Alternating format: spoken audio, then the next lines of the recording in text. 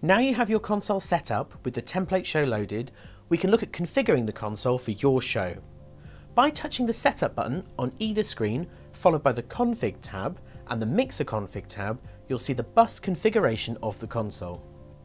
Avantis has 42 buses that can be assigned in blocks of two mono buses or one stereo bus to groups, effects, auxes, matrices or PAFL.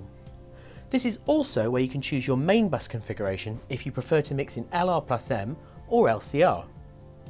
You can also remove the main bus if you're mixing monitors, freeing up buses to be used elsewhere. On the right hand side of the page, you can see the unassigned mixes and the number of rack effects engines remaining without an effects bus. To change the bus configuration, you need only touch the bus you'd like to change and use the screen encoder to increase or decrease the number of buses.